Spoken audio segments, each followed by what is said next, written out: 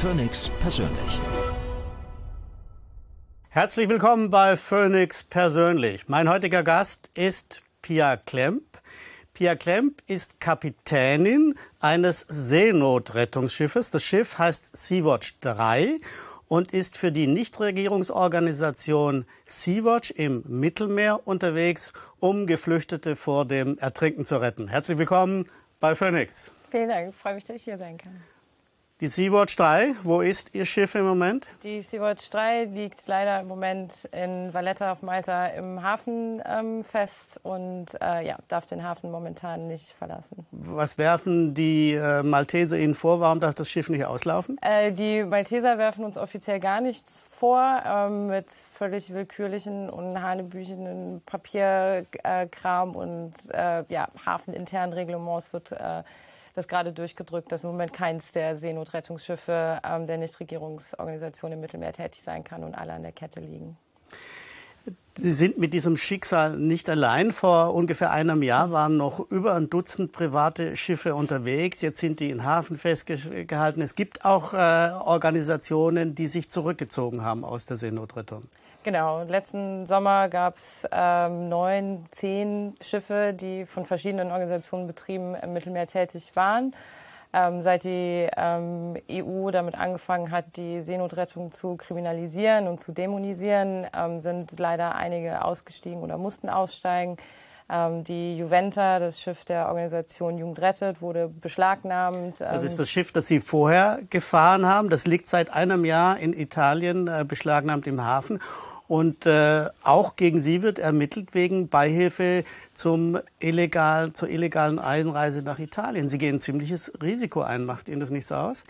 Ähm, natürlich ist das nichts, was man unbedarft macht, aber ähm, so wie schon äh, der, ich halte es da mit dem Herrn Brecht, der auch schon sagte, wenn Unrecht zu Recht wird, wird Widerstand zur Pflicht. Das ist ein ganz klares Muster, was hier zu erkennen ist, dass dadurch, dass die EU-Politik versagt hat und sich nicht innerhalb des Staatenbundes äh, auf eine vernünftige Lösung ähm, einigen kann, ob es jetzt um die Verteilung von Flüchtlingen geht oder um die Einrichtung von und die Ermöglichung von sicheren Einreisewegen, dass Menschen ihr Menschenrecht auf Asylantrag überhaupt wahrnehmen ähm, können, weil das komplett gescheitert ist, wird das Ganze jetzt auf dem Rücken der Schwächsten ausgetragen, bei den NGOs angefangen, im Endeffekt natürlich äh, zum Leidwesen derer, die äh, flüchten müssen. Und das hat halt angefangen mit der Beschlagnahmung der Juventa ähm, letztes Jahr, dann wurde es in jedem Hafen in Italien mit jeder Rettung schwieriger und schwieriger. Und ähm, ja, jetzt haben wir halt die nächste Stufe der Repression erreicht, wo halt einzelne äh, von uns, es sind zehn äh, Crewmitglieder der Juventa, ähm, die halt, gegen die jetzt ermittelt wird, ähm, auf illegale, auf Beihilfe zur illegalen Einwanderung stehen fünf bis 15 Jahre ähm, Haft ähm, und ganz klar ähm, Angstmache, der Versuch der Abschreckung und der Kriminalisierung mhm. ähm, der Seenotrettung. Wir wollen im Laufe der Sendung noch ausführlich darüber reden, wie da politisch argumentiert wird. Mhm. Ich würde zunächst aber von Ihnen gerne erfahren, wie, wie das abläuft, diese Seenotrettung. Zunächst mal bei wie vielen Einsätzen zur Seenotrettung im Mittelmeer waren Sie denn schon dabei? Äh, ich bin insgesamt sechs sogenannte Missionen ähm, gefahren. Äh, das sind so Einsätze von zwei bis drei Wochen, die wir dann am Stück ähm, draußen ähm, sind und äh, ja, zwei davon auf der Juventa und vier davon auf der Sea-Watch 3. Mhm. Und haben Sie ungefähr einen Überblick, wie viele Geflüchtete Sie da vom Ertrinken retten konnten? Ähm, also jetzt auf den, jetzt nur für die Mission gesprochen, auf denen ich dabei war, das ist äh, nicht, was insgesamt gerettet äh, werden konnte, waren es, ich würde sagen, Leute, die wir tatsächlich an Bord hatten dann selber, 1000, 1500 und dann gibt es aber noch viele andere Boote, denen wir äh, geholfen haben mit dem Austeilen von Rettungswesten oder die wir auf andere Schiffe verteilt haben. Das werden mit Sicherheit noch mal 3.000, 4.000 Leute sein, denen meine Crews helfen also konnten. Also wirklich eine, eine enorme Zahl äh, von, von Geflüchteten, von Menschen, die sie da vor dem Ertrinken retten konnten. Ich stelle mir das ungeheuer schwierig vor. Das, das Mittelmeer ist ja riesig groß. Wie, wie finden Sie die Flüchtlingsboote und wo nehmen Sie die Flüchtlinge auf? Ähm, also die Fluchtroute, die durchs zentrale Mittelmeer ähm, geht, die ähm, Menschenhändler und Schlepper senden diese äh, kompletten Schrottboote, die überfüllt sind mit, mit Menschen, ähm, von verschiedenen Städten in Libyen ähm, los. Äh, Bürgerkriegsland, keine Kontrolle, intern absolutes Chaos. Das ist, ähm, wo die größte Zahl der Flüchtlinge vor allem aus Subsahara-Afrika ähm, mhm. äh, von ablegen, um äh, die Flucht nach Europa anzutreten. Und das ist ungefähr die, das Gebiet zwischen der tunesisch-libyschen Grenze und der libyschen Hauptstadt mhm. Tripolis. Und dann patrouillieren die ähm, Vereinsschiffe ähm, auf ungefähr 26 ähm, Seemeilen von der libyschen Küste weit entfernt weg ähm, und halten selber nach ähm, solchen Booten in Seenot Ausschau und ähm, arbeiten aber auch zusammen, kriegen Informationen, offizielle Seenotrufe durchgegeben von der Seenotleitstelle in Rom, auf die wir dann halt auch reagieren. Wir können uns jetzt gleich mal ein paar äh, Bilder anschauen von einer Seenotrettungsaktion aus dem äh, November 2017. Da waren Sie mit Ihrem Schiff, der Sea-Watch 3, unterwegs und gleichzeitig äh, war ein Schiff der libyschen Küstenwache ein bisschen schneller. Das sehen wir hinten. Die libysche Küstenwache hat schon neben dem Flüchtlingsboot angelegt. Wie viele äh, Flüchtlinge waren auf diesem Boot? Ähm, laut Angaben äh, der Leute, die auf diesem Flüchtlingsboot drauf waren, waren zu Beginn ihrer Reise ähm, 120 bis 150 Menschen an Bord ähm, des Schlauchbootes. Davon sind einige schon ähm, auf der Reise über Bord gegangen und dann ertrunken. Das sieht man hier von Ihrem Beiboot aus. Die Flüchtlinge sind ins Wasser gefallen, sind teilweise auch ins äh, Wasser gesprungen, weil sie nicht ans Bo an Bord der libyschen Küstenwachen wollen, nicht nach Libyen gebracht werden sollen.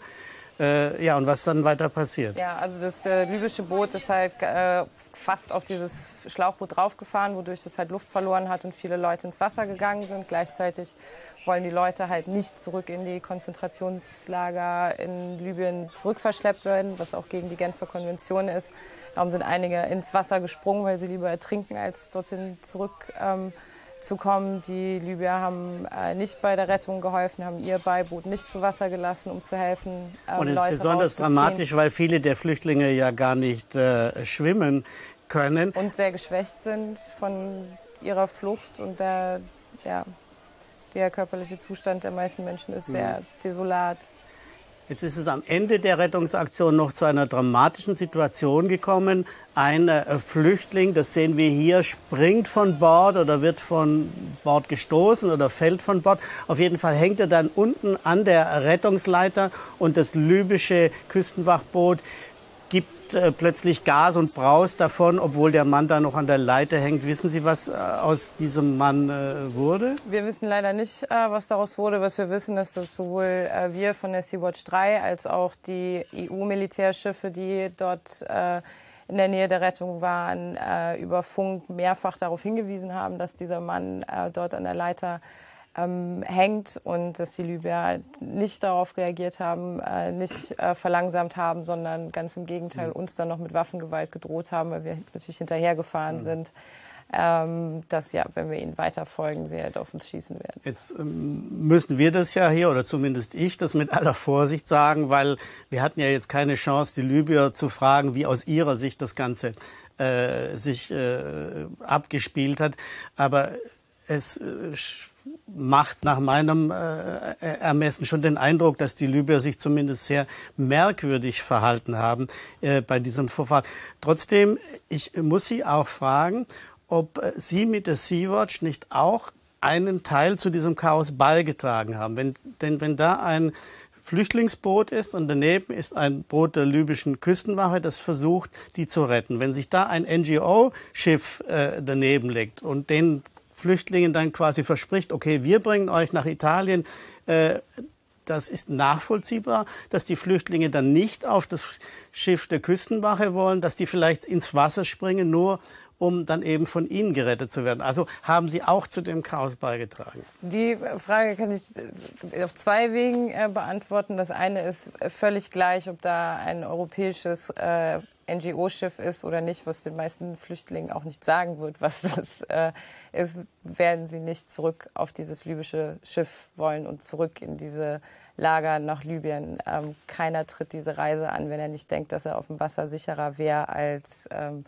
als an Land. Und zum Zweiten gibt es für Rettungseinsätze ähm, ganz, ein ganz klares ähm, Regelwerk, was das ähm, internationale Seerecht ähm, regelt, was ganz klar sagt, dass das Schiff, was am besten ausgestattet ist für eine Rettung, die Rettung ähm, durchführen soll. Und wenn mehrere Schiffe ähm, bei einem Boot in Seenot sind, dann wird ganz klar gesagt, wer mhm. der sogenannte On-Scene Commander ist und die ähm, äh, Römer, also die, die europäische Seeleitungsstelle, Notrettungsstelle, als auch ein französisches Kriegsschiff, was dort unten mit dabei war, haben uns der Sea-Watch 3 dieses On-Scene Command mhm übergeben. Das heißt, mhm. ähm, ja, wenn einer ja. das gefährdet hat, dann mhm. die libysche Küstenwache. Was ist denn da am Ende passiert? Also wir haben gesagt, 120 äh, Leute waren mindestens auf dem Boot. Äh, wie viele konnten Sie denn retten?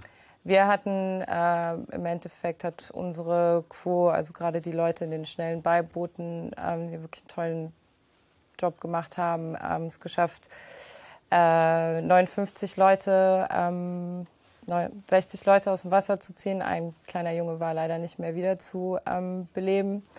Äh, es waren ungefähr nach Angaben der libyschen Küstenwache 40 Leute auf dem äh, libyschen Schiff, die dann zurück verschleppt worden sind nach Libyen. Und ja, dementsprechend kann man sich äh, dann ausrechnen, wie viele halt auf dem also Weg und vor allem halt aber auch während der ähm, ertrunken sind. Ertrunken sind 20 ja. Äh, Menschen, wenn, wenn nicht noch mehr. Ja. Wie gehen Sie mit sowas um? Ähm, ist natürlich schwer mit äh, umzugehen, manchmal gerade in so einer Situation, wo man es auch einfach sieht und die Leute auch, die Menschen auch einfach um ihr Leben schreien hört, bevor sie dann äh, äh, ertrinken. Natürlich ist es äh, sehr, sehr bitter, aber es ist aber auch eine, eine Realität, die wir uns, der wir uns alle sehr bewusst sind. Deswegen mhm fahren wir darunter, weil wir wissen, dass äh, vielleicht nicht jeden Tag, aber sehr vielen Tagen im Jahr sehr viele Menschen im Mittelmeer ertrinken, ohne dass einer hinguckt, ohne dass einer hilft. Was sind das äh, für Menschen, äh, die Sie da retten? Wo kommen die her? Männer, Frauen, Kinder? Ähm, relativ äh, unterschiedlich. Es gibt äh, die meisten, die zumindest bei meinen Rettungen waren, waren Menschen aus Subsahara ähm, Afrika, die halt dort vor Boko Haram, Bürgerkrieg, Hunger, politischer Verfolgung und so weiter äh, fliehen. Ähm, es gibt äh, immer wieder auch mal äh, dann Flüchtlinge, die aus Syrien ähm, kommen, die dort vor, vor dem Krieg ähm, fliehen. Ähm, ja, das sind so die, die, die größten äh, Anteile der, der Flüchtenden, die durch Libyen ähm, kommen. Es sind äh, hauptsächlich junge Männer, weil gerade die ähm, Flucht, die interkontinentale Flucht durch Afrika auch so hart ist, dass ähm, alles, jeder, der ein bisschen schwächer ist, es auch einfach nicht schafft. Und Jetzt haben Sie da gerade einen sehr belasteten Begriff verwendet. Sie haben gesagt, die Geflüchteten kommen in Libyen in Konzentrationslager. Das ist natürlich vor allem in Deutschland ein äh, Begriff, den man sehr vorsichtig gebrauchen muss. Was erzählen Ihnen die Geflüchteten, die Sie aufnehmen, über die Zustände, die da in Libyen sind? Ja. Also der, der, diese Beschreibung von konzentrationslagerähnlichen Zuständen, die kommt auch ganz klar von Mitarbeitern von ähm, dem Flüchtlingswerk der UN, die sich das angeschaut äh, haben. Ähm, es sind Leute, werden da zu Hunderten zusammen äh, gefärscht, kriegen jeden zweiten Tag eine kleine Plastikflasche Wasser zum Trinken und den Rest der Zeit können sie die benutzen, um dort reinzupinkeln.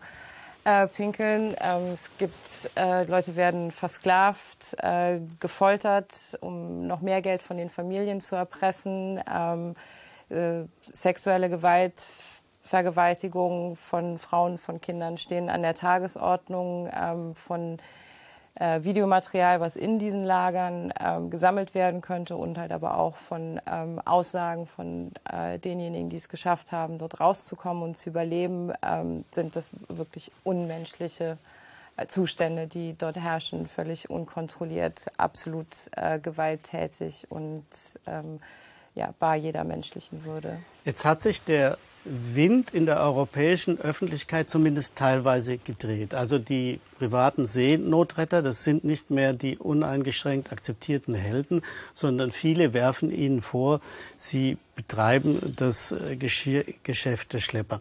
Jetzt wird natürlich niemand sagen, man soll die Menschen ertrinken lassen. Zumindest kenne ich niemanden, der sowas sagt. Trotzdem gibt es ja eine politische Debatte darüber, ob das, was die NGOs machen, richtig ist oder am Ende vielleicht mit gutem Willen ein schlechtes Ergebnis äh, produziert. Lassen Sie uns mal die Argumente anschauen. Also Vorwurf Nummer eins, Sie, die NGOs, die Seenotrettungsboote, Sie würden die Geschäfte der Schlepper betreiben, weil Sie erst würden die Flüchtlinge in diese Schlauchboote da locken. Ja, das äh, wurde schon mit sehr vielen äh, Studien äh, widerlegt, dass die ähm, äh, NGO-Schiffe eben kein sogenannter Pull-Faktor ähm, sind. Die Fluchtursachen liegen ganz äh, woanders. Die Leute begeben sich ähm, auf die Flucht, weil sie halt ja, um Leib und Leben äh, fürchten. Die äh, wissen auch nicht, dass da ähm, europäische Vereine Schiffe betreiben, die äh, helfen, wenn es äh, nötig ist. Und auch andersrum die wirklichen Menschenschlepper, die diese menschenverachtenden Lager betreiben und die die Leute um noch mehr Geld erpressen und dann in diese völlig überfüllten, äh, nicht seetauglichen Boote sperren denen ist es völlig egal, ob die es übers Mittelmeer schaffen oder nicht. Hm. Und, ich muss da trotzdem ja. noch mal nachhaken. Ja? Klar, die, für die Fluchtursachen sind sie natürlich nicht verantwortlich, im, im Gegenteil. Aber sie machen es ja den äh, Schlepperorganisationen schon leichter, die Leute in die Boote zu locken. Weil diese Boote sind auch, äh, lassen Sie mich das bitte ausführen, die Boote sind offensichtlich nicht seetauglich, haben wir gesehen in diesem Zuspieler. Die Boote haben manchmal nur für 20, 30 Kilometer Benzin an Bord. Und die Schlepper sagen, guck, da vorne 20 Kilometer draußen, da liegen die NGO-Schiffe, fahrt dahin. Das ist äh, von allem, was wir gehört haben, von Leuten, die äh, es geschafft haben, die nicht im Mittelmeer ertrunken sind, mit denen wir nachher reden konnten, die haben überhaupt gar keine Ahnung, worauf sie sich da einlassen. Viele denken, es ist ein breiter Fluss oder äh, werden auf die Lichter der oder die Flammen der Ölbohren, äh, Öl, Öl Bogen, die in, im Mittelmeer sind, äh, hingewiesen, dass das Leuchttürme in Italien ähm, seien. Den, äh, das ist nichts, was man von, von Land aus sehen kann, ob da auf äh, 25, 30 Meilen ein Schiff steht oder nicht. Das ist einfach optisch nicht wahrnehmbar äh, vom, mhm. vom Land. Ähm, und ja, die Schlepper ähm, machen da solche Versprechen nicht, weil es ihnen egal ist, weil solange die Leute bezahlt haben und dann weg mhm. sind, ist das Geschäft für sie äh, erfolgreich gewesen. Und ob sie dann nach zehn Meilen ertrinken oder nicht, macht halt für deren mhm. Geschäft keinen Unterschied. Wir haben hier eine Aussage des österreichischen Bundeskanzlers Kurz, der sagt, die Rettungsaktionen der NGOs führen dazu, dass noch mehr Menschen ertrinken. Wie gehen Sie mit so einem Vorwurf um?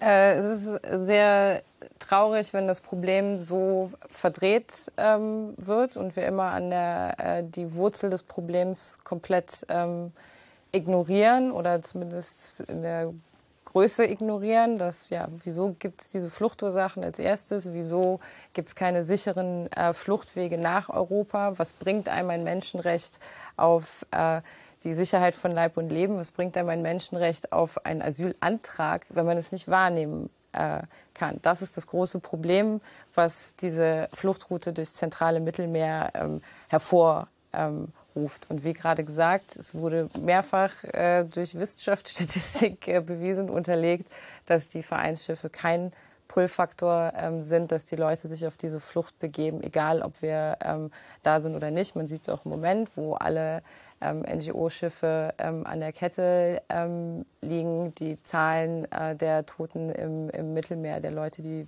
ähm, flüchten, nimmt äh, nicht ab. Also das sind sehr umstrittene Zahlen, wenn Sie die Zahlen anführen. Äh, wir haben das natürlich auch nachgeschaut, mhm. haben die Zahlen angeschaut der Internationalen Organisation für Migration. Es gibt die Zahlen von 2016, 2017, 2018. Bis Ende äh, August sind im Mittelmeer äh, circa 1500 Menschen ertrunken. Äh, Im selben Zeitraum 2017, als noch viel, viel mehr Menschen über das Mittelmeer geflohen sind, sind 2400 Menschen ertrunken. Über diese Zahlen gibt es jetzt den erbitterten Streit. Man kann sagen, schaut her, die Europa macht es den Flüchtlingen schwerer, weil äh, Europa mit den Libyern zusammenarbeitet, weil die NGOs lahmgelegt werden. Es fliehen viel weniger Menschen aber es sterben dann auch weniger. Es sind dieses Jahr weniger gestorben als letztes Jahr. Umgekehrt kann man natürlich mit derselben Berechtigung sagen, von 1000 Menschen, die sich auf die Flucht machen, sterben jetzt viel mehr als früher. Äh, wenn Sie einverstanden sind, lassen wir das jetzt mit den Zahlen. Ich denke, Sie haben ja, sehr Das Prinzip ist halt das Gleiche. Jetzt würde man sagen, wir schaffen die Bergwacht ab, weil die Leute sich auch freiwillig auf, äh, auf, auf den Bergsteigertrip machen, wissen nicht, dass da eine Gefahr ist. Oder wir sagen, wir machen keine Krebstherapien mehr für Raucher, weil sie haben sich auch frei. Also das eine ergibt nicht das andere. Ich, ich, ich ja. verstehe Ihren Punkt. Ja. Ich glaube, es ist sehr, sehr klar geworden, dass Sie sich sehr viel Gedanken machen, dass Sie sich sehr auch mit den äh, Gegenargumenten auseinandergesetzt haben.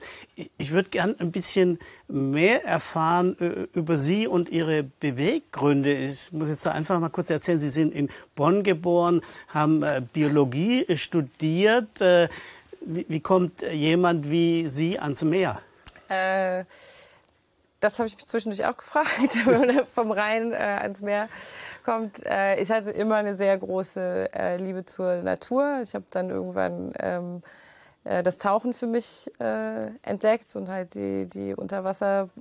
Ähm, drei Jahre lang als Tauchlehrerin in Indonesien. Ne? Genau. Ähm, und habe da äh, ja, mich mehr und mehr ins ins Meer verliebt und bin gleichzeitig aber auch äh, dadurch auf mehr und mehr Missstände ähm, äh, aufmerksam geworden und äh, darüber mich, musste mich sehr damit auseinandersetzen, wie schlecht es um, um unsere Meere steht und wie wenig ähm, passiert, um sie zu schützen.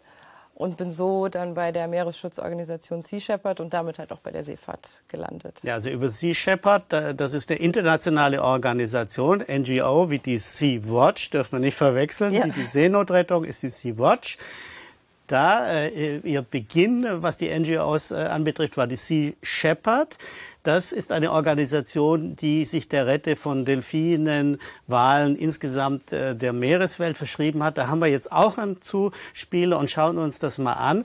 Das ist äh, eine Aktion circa vier Jahre alt und das hat sich zugetragen in der Antarktis, also kurz vor dem Südpol. Ihr Schiff, das ist das kleine Ding da in der Mitte. Links, das ist ein japanisches Walfangschiff und rechts das rote Schiff, das ist ein Tankschiff. Das Tankschiff will den Walfänger betanken und sie versuchen, den Tankvorgang zu verhindern, indem sie sich dazwischenlegen. Also ich sage mal, die Bilder werden noch dramatischer. Das, das ist doch ungeheimlich gefährlich, was Sie da machen.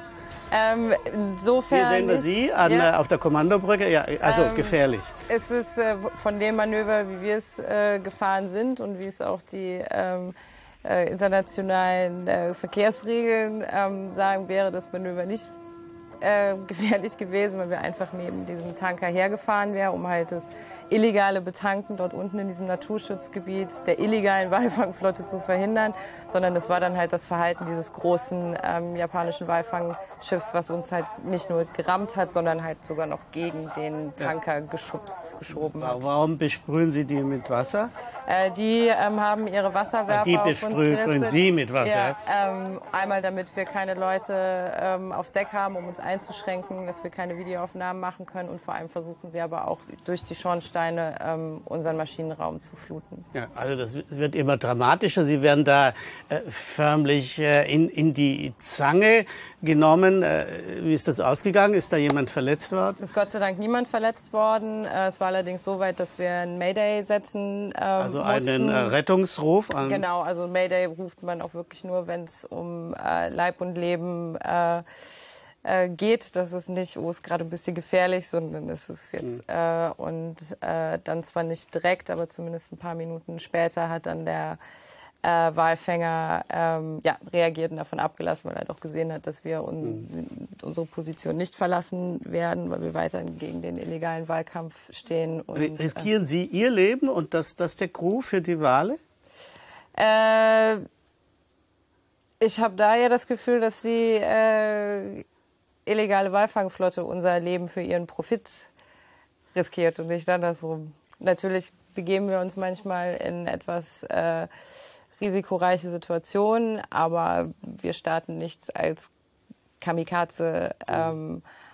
Ähm, und gerade leider bei der illegalen Fischerei ähm, ist das Gewaltpotenzial der, der Fischer ähm, extrem hoch, gerade auf internationalen ähm, Gewässern, äh, wo es äh, ja, schwierig ist mit ähm, wer ist jetzt, welche Regierung ist hier mhm. verantwortlich, wo kann man wen anzeigen. Es gibt keine Polizei, die da rumfährt und aufpasst Mhm. oder die man schnell mal anrufen könnte. Das ist äh, ja, Gewaltpotenzial sehr, sehr groß. Und Seefahrt ist eine Männerdomäne. Äh, Wir haben uns erkundigt, von 100 Kapitänen ist eine, eine, eine Frau. Äh, Sie haben angefangen bei, bei äh, Sea Shepherd als Deckhand. Das ist, ich sage es jetzt nicht despektierlich, aber das ist äh, doch weiter unten auf der Hierarchie eher, eher eine Hilfsposition. Wie sind Sie denn zur Kapitänin geworden? Äh, ich habe ja, mehrere Jahre als Deckhand gearbeitet, weil das auch wirklich eine der allerbesten Positionen auf dem Schiff ist. Und habe dann ja, irgendwann das Management von einem Schiff übernommen. Dann habe dann auch mehr auf See selber dann auf, auf der Brücke verbracht. Und dann irgendwann hat sich das einfach ergeben, dass ich dann halt mein Patent gemacht habe. Bei der, sea, äh, bei der Sea-Watch, dem Seenotrettungsschiff, da haben Sie 22 Mann äh, Besatzung. Äh, Ich frage das jetzt einfach mal als Frau, hören, hören diese Seeleute auf einen? Auf jeden Fall. Also zum einen äh, gibt es bei uns, ob das jetzt bei Sea Shepherd oder bei Sea Watch ist, äh, natürlich deutlich weniger diese ähm, Sexismus und die, äh, Konflikte, wie es die in der kommerziellen Seefahrt geben wird, weil die Leute, die bei uns äh, mitfahren, das sind ja alles sehr schlaue, intelligente, weltoffene politische ähm, Menschen. Das heißt, dieses Thema äh, Sexismus und Diskriminierung ähm, ist ja einfach nicht so existent in unserem Kosmos. Zum, und zum anderen äh, ja, haben wir sehr flache Hierarchien auf unseren Schiffen. Alle ähm, sind da, weil sie da sein wollen. Alle wissen, worum es geht und was wir erreichen möchten und wissen auch um die Fähigkeiten und Kompetenzen des jeweils anderen. Und deswegen ähm, wird es da, äh, ja, Deswegen haben wir jetzt hier eine Kapitänin sitzen. Sie sind seit Jahren auf diesen äh, Rettungsmissionen unterwegs, haben gar keinen festen Wohnsitz in äh, Deutschland äh, mehr. Was treibt Sie da an? Was ist das? Ähm, also zum einen mag ich die Seefahrt einfach sehr gerne und auch ähm, noch mehr als die Seefahrt selber einfach die Arbeit, äh, die ich damit äh, verrichten ähm, kann. Und ich sehe es als meine, meine Pflicht an, sowohl das eine als auch das andere ähm, zu tun. Und das ja, passt halt sehr gut zusammen mit einem Leben ohne Wohnung, wenn man halt einfach von Schiff zu Schiff äh, zieht. Jetzt haben Sie ja eine sehr starke und nachvollziehbare Motivation, warum Sie das machen, die Meere retten, die Wale retten, Ertrinkende, äh, das Leben von Ertrinkenden äh, zu retten. Ich frage trotzdem, ist neben dieser nachvollziehbaren äh, politisch-moralischen Motivation auch so ein Schuss Abenteurertum dabei? Nee, Abenteuertum äh, habe ich gerne, wenn ich Landgang habe, dann kann ich gerne irgendwo klettern gehen und wochenlang durch den Wald laufen. Das ist Abenteuer für mich. Ähm, was äh, hedonistisch ist an den Jobs, das sind die Leute, die man trifft und die man kennenlernt, dass ich die Chance habe, mit, mit ganz wunderbaren, ähm, schlauen, bewussten, aktiven Menschen zusammenzuarbeiten. Äh. Aber dieses äh, das Nervenkitzel da in irgendeiner Art und Weise ähm, Antrieb wäre es äh, nicht so, weil dafür ist das Thema oder beide Themen viel zu ernst und viel zu bitter, als das als Unterhaltung in irgendeiner Art und Weise ähm, aufzufassen. Das Ja. äh, wollte ich Ihnen Ja. nun wirklich auch nicht äh, unterstellen. Ich würde trotzdem gerne am, am Ende noch äh, wissen, äh, haben Sie manchmal auch äh, das Gefühl, Mensch, äh, ich möchte einfach doch jetzt wieder in ein, normales Leben äh, zurückkehren, einen ganz normalen Beruf ausüben, Familie gründen oder haben Sie solche Gedanken nie? Ich habe manchmal, wenn man ganz lange auf See war, mehrere Wochen äh, und es sehr anstrengend war und wieder alles auf einmal passiert ist, dann kommt da manchmal so ein Anflug von an und dann denke ich zwei Minuten drüber nach und dann gehe ich wieder aufs nächste Schiff. Das war Phoenix persönlich, heute mit Pia Klemp. Herzlichen Dank, dass Sie zu uns gekommen ich sind. Herzlichen Dank an Sie zu Hause für Ihr Interesse.